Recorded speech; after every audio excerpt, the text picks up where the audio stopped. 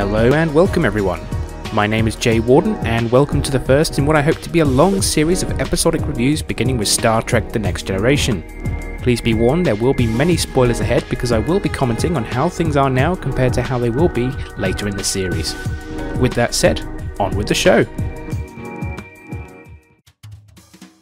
We begin our epic adventure of the TNG franchise with a glory shot of the new Galaxy class Enterprise D before seeing a bald figure emerge from the shadows, introducing Captain Jean Luc Picard, the most British Frenchman you're ever going to meet. Picard is making an entry in his log about their upcoming mission to Farpoint Station, whilst he shows off the engineering and bridge sets to the audience. On the bridge, we meet everyone's favourite android, Lieutenant Commander Data, who doesn't understand what snooping means, and then the lovely counselor Deanna Troi, who will soon begin her career of sensing something and then being really vague and unhelpful about about it. A random red shirt reports something strange on the detector circuit, whatever the fuck that is, and a huge grid from the movie Tron is thrown up in front of the Enterprise, forcing Picard to slam on the brakes. As everyone stares blankly at the view screen, there's a bright flash, and some bloke in 16th century clothing with a really bad wig and a shitty hat appears, telling Picard that they've come too far from Earth and they need to immediately fuck off back home. Picard is like, You what, mate? And then asks the guy in the crappy costume to identify himself. He calls himself Q and starts showing off his godlike powers, throwing his Tron grid at the turbo lift doors and then freezing the random random red shirt at the helm. Picard seems a bit annoyed by this, but Q just tells him to fuck off again. Q realizes he's wearing the wrong costume and changes into a 20th century military uniform. He quips about having a few good men and accuses Picard of belonging to a dangerous, savage child race. Picard says, well,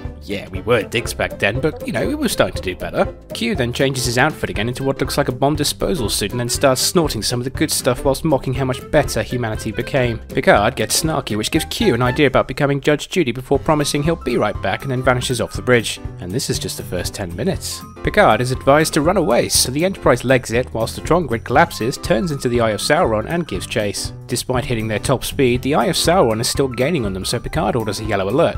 But shouldn't you be at red alert right now after everything that's just happened, or at least at yellow alert already? I mean, was no one on. Oh, fuck it. It becomes clear, though, that they can't outrun the Eye of Sauron, so Picard orders someone send a text message to the crew to prepare for an emergency saucer separation and tells Worf he'll be in command. Worf doesn't really like this and has to remind everyone that he's a Klingon and how they aren't pussies. Picard isn't impressed, so Worf sulks and just says, okay, I'll do it. Everyone arrives on the battle bridge, and here we meet Chief Miles O'Brien for the first time, though nobody actually knows his name or rank just yet. Yar fires a bunch of torpedoes off before Picard gives the order to separate. Everyone looks really tense and nervous, but then it turns out there wasn't really anything to worry about, and the ship separates successfully, sending the saucer off to safety like some kind of intergalactic frisbee, whilst the star drive section turns back to confront the Eye of Sauron. Picard orders a full stop and puts on his best come at me bro face, and then the Eye of Sauron arrives and transforms back into the Tron grid, which completely surrounds the ship this time.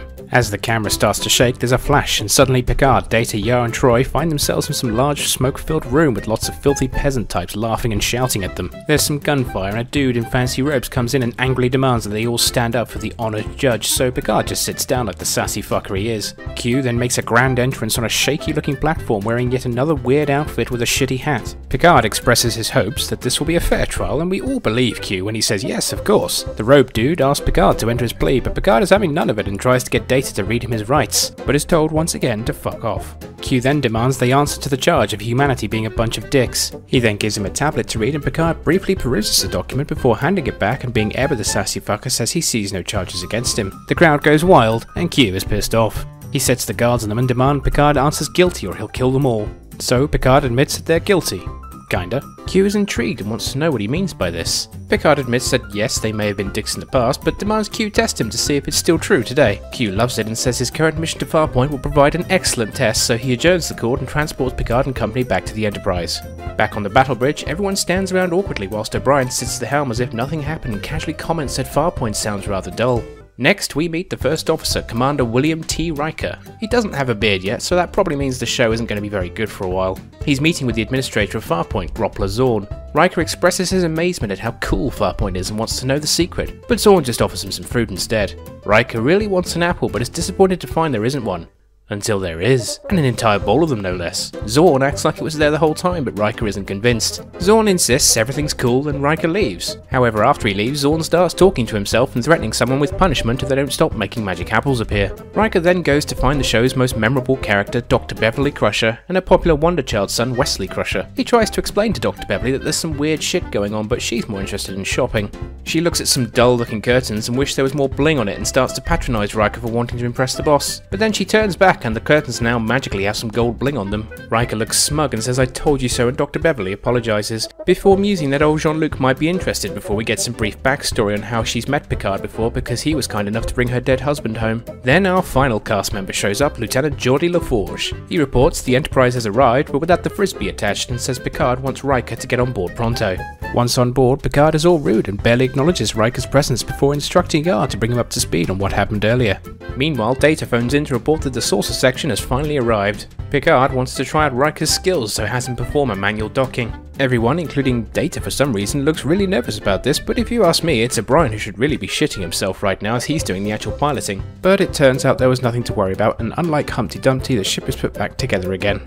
Riker looks very pleased with himself, but no one congratulates O'Brien, who really did all the hard work. Finally, Picard and Riker can have a proper chat, and Picard starts off by trolling Riker about his routine maneuver of a manual docking before going on to quiz him about his history of not letting his captain do what he wants. But Riker holds his ground and explains that if you're going to be a twat, he'll tell you to your face that you're being a twat. Picard then also explains that Starfleet thought it was a good idea to have children on a spaceship that blunders itself into all sorts of incredibly dangerous subspace anomalies every other week, and that he also hates kids. So he wants Riker to keep them away from him. Riker is cool with that, and Picard finally welcomes him on board properly. In sickbay, LaForge explains to the audience why he wears a bad cosplay of Cyclops' visor from the X-Men. He was born blind, but his visor helps give him vision superpowers by seeing things in different spectrums beyond normal human vision, except for actually giving him normal vision. Meanwhile, Data is escorting an old admiral to his shuttlecraft. Who is this old admiral, you might ask? Well, it's Dr. Leonard McCoy from another Enterprise you may have heard about. He seems pretty sprightly for a 137 year old, and he tells Data that he has to treat the Enterprise like a lady and that she'll always bring you back home. Though I'm honestly not sure that Data would have a fucking clue what he means by that. With all the crew aboard, it's time to move things along, and as Picard tries to check his voicemail, Q appears on the view screen. Worf wants to shoot him, but Picard doesn't want his massive brand new TV damaged. Q gives them a 24 hour deadline to figure out the Farpoint mystery, or he'll judge them guilty by default before vanishing again. Picard is unfazed and says we'll do things our way, then immediately wastes 11 hours by making another log entry. Picard and Riker have a back and forth about the mystery of Farpoint's construction. Picard doesn't seem convinced though by Riker's reports of magic, but he says he's ready to beam down and have a chat with Zorn. Picard then introduces Riker to Troi.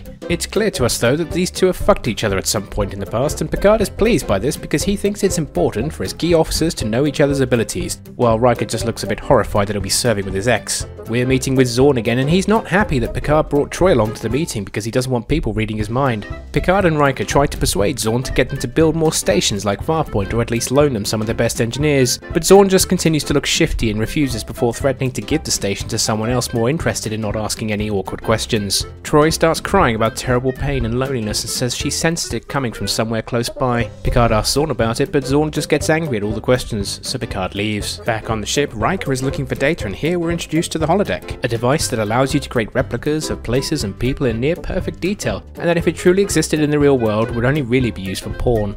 As he enters and marvels at how real it all looks, he finds Data trying to whistle Pop Goes the Weasel. Data explains how badass he is as an android, but that he'd give it all up to be human, leading Riker to give him the nickname of Pinocchio. Riker beams down to Farpoint with an away team and begins his investigation by sending Yar, Troi and LaForge underneath the station whilst he and Data search topside. Team Yar starts exploring some creepy looking tunnels underneath the station. LaForge says it's like nothing he's ever seen before, which is pretty funny for a blind guy to say. So Riker asks Troi to start doing something useful, but she just ends up crying again about pain, loneliness, and despair, which generally describes our 21st century life and as always is unable to provide any useful information, even after Riker beams down to console her. Back on the Enterprise, Dr. Beverly and Wesley arrive on the bridge. Picard is obviously upset about this as he still hates kids, but Dr. Beverly does a guilt trip by reminding him about the dead husband incident. So he allows Wesley to take a look around, even letting him sit in his chair. Suddenly there's an alarm and Picard throws Wesley and Dr. Beverly off the bridge because they're fucking annoying. It seems an unknown ship has just appeared on the sensors, so Picard tells Worf to raise the shield and arm the phasers because that seems like the friendly Starfleet thing to do. We check in quickly with Team Riker where Troi insists she's close to being useful now, but it seems their phones have stopped working, so Riker decides it's time to get the fuck out. The Enterprise continues to try and contact the alien ship when suddenly it starts firing at the planet, causing some trouble for the away team as they exit the creepy tunnels. So Riker sends Yar, Troi, and LaForge back to the ship whilst he and Data keep pushing forward. Zorn is screaming into his phone for help, but Picard mutes him and finally reconnects with Riker. He explains that the old city is getting proper fucked by the orbital strike, but that Farpoint itself is completely unmolested, so Picard sends him to go and kidnap Zorn to finally get some answers. As Picard orders phasers locked onto the attacking ship, Q suddenly appears on the bridge and immediately starts berating Picard for being a dick, but Picard is having none of it, accuses Q of being the real dick, and orders the Enterprise to move in between the ship and the planet to block its fire. Worf goes to comply but finds his controls have stopped responding. Riker and Data arrive at Zorn's office, a bit worse for wear, and find him cowering under his desk begging for the carnage to stop, before he suddenly beamed away screaming. Q just continues to mock their stupidity whilst Troi starts sensing some enormous satisfaction. Picard though has finally had enough of Q being a twat and tells him to either kill them now or just please fuck off. So, with the Bandi city wrecked, the alien ship unchallenged, and Q freezing the ship's controls, Picard decides this is the perfect time to go and see Dr. Beverly and apologise for being a dick to her and Wesley earlier, even if they were being annoying. Picard's a little embarrassed by this, but sucks it up and properly welcomes her to the ship. Meanwhile, Riker beams aboard the alien ship with Data, Yar and Troi and it looks suspiciously like they reused the same creepy tunnel set from earlier. Team Riker seem confused but then Troi starts feeling angry and hateful and after some more exploring, eventually leads them to Groppler Zorn who's being tortured in some sort of energy field.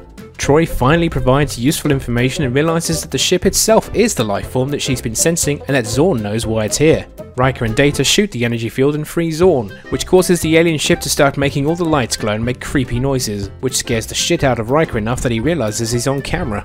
Q once again shows up, this time wearing a Starfleet uniform. He says their time is up and he's completely locked the ship down so nothing can be done, and then sits down in the captain's chair and looks smug. Picard begs Q to bring his people back and that he'll do anything he says, and as if on cue, Team Riker along with Zorn suddenly materialise on the bridge.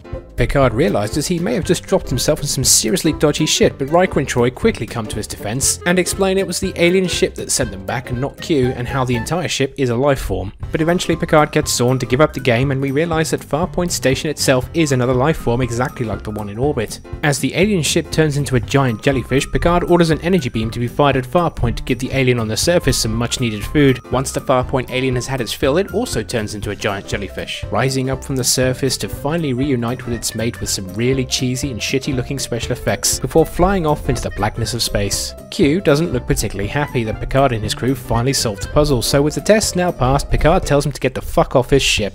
Q obliges, but not before promising he might return one day. With humanity saved, the Enterprise prepares to leave orbit. Riker says he hopes their missions won't always be like this, and Picard trolls him by saying he's sure they'll be much more interesting in the future, before sending the Enterprise off to its next adventure.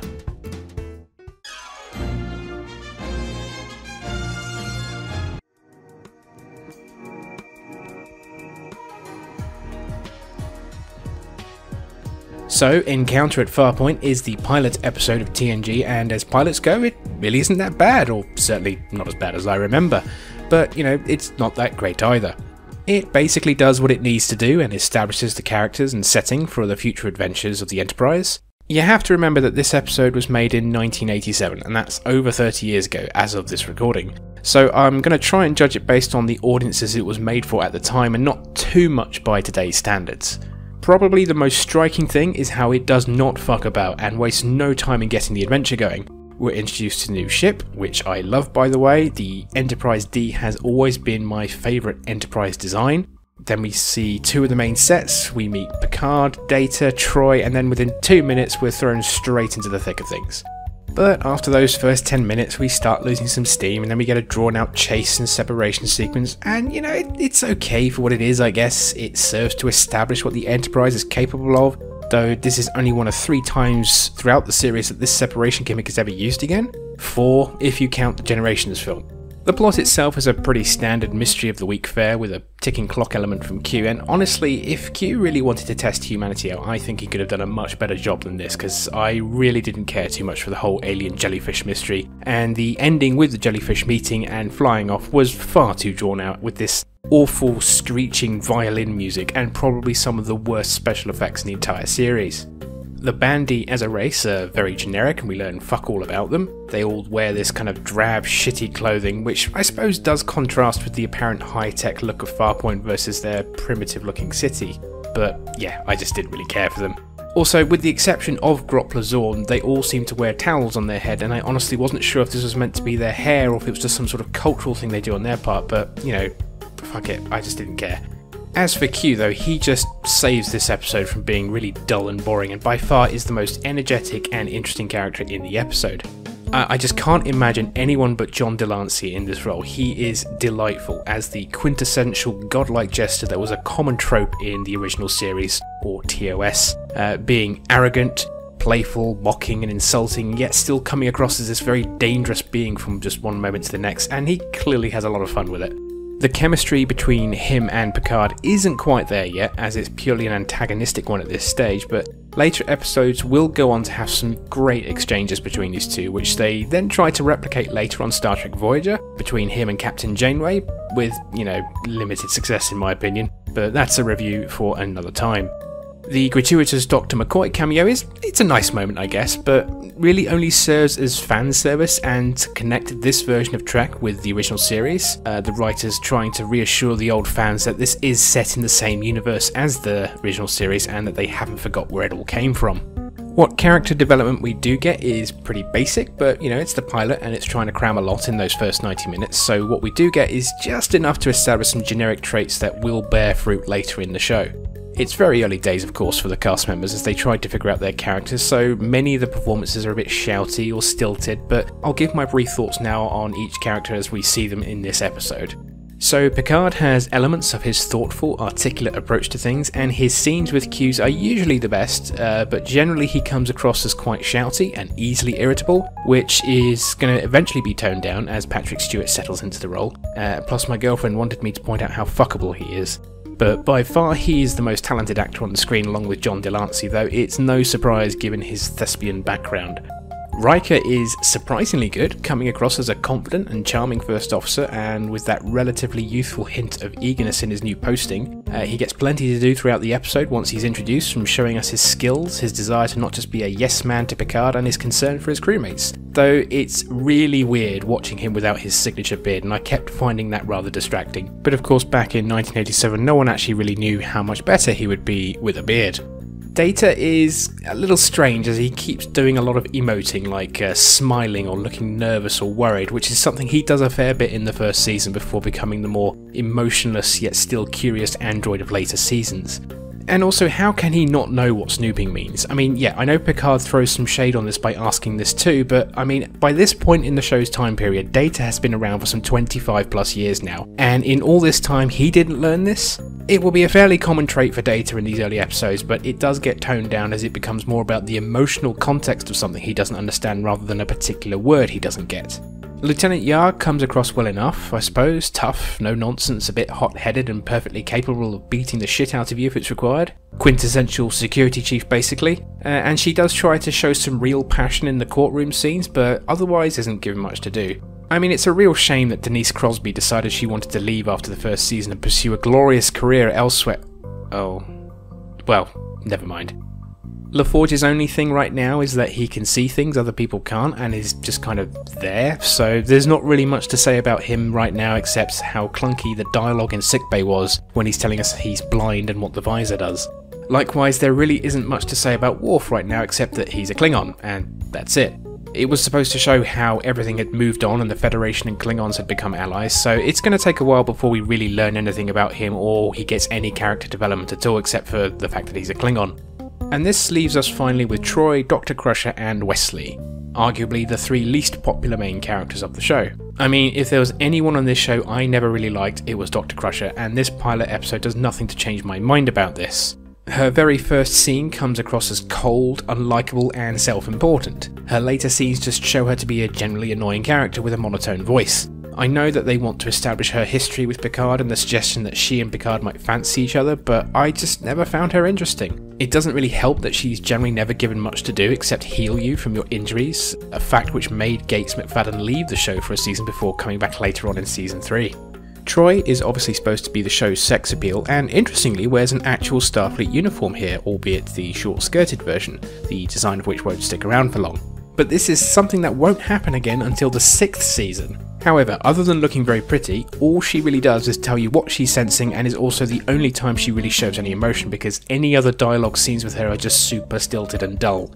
Uh, the scene where she and Riker meet on the bridge is a notable example as she speaks telepathically to him, but it just feels like there's like no chemistry between the two of them at all. And as for Wesley, he's surprisingly not that annoying here. In fact, I think Wil Wheaton plays him rather well. Okay, sure, he's a little bratty, but he sells being a wide eyed child filled with wonder and excitement, and especially when he gets to have a look around on the bridge, and I'm really okay with that. He only starts to get obnoxiously annoying when he saves the ship every other week because the adults are too stupid to figure it out themselves, which actually starts in the very next episode. I suppose the only other thing to comment on here is that I'm obviously watching this on the HD remasters, which simultaneously make the show look great and also expose how tacky and cheap some of the sets and special effects can be, even though they've redone some of those. But you know what? I don't really care because this was the late 80s and I can forgive them for this. So, overall, a reasonably decent, if uneven, start to the franchise. Next time will be a review of the episode The Naked Now, which is basically a reused plot of the TOS episode The Naked Time because apparently the writers couldn't come up with their own unique ideas. I hope you enjoyed this video, if so please like, subscribe and share. This has been Jay Warden, signing off.